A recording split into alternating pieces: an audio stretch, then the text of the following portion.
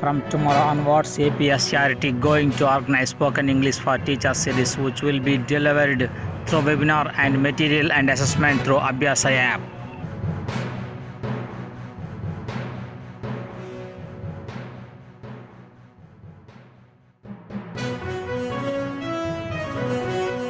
It is a series of 25 classes.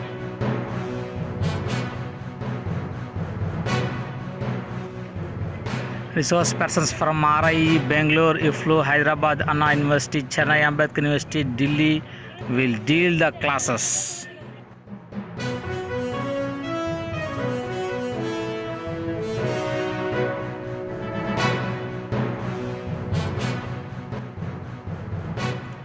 Time 11 am to 12 noon. APSCERT YouTube channel.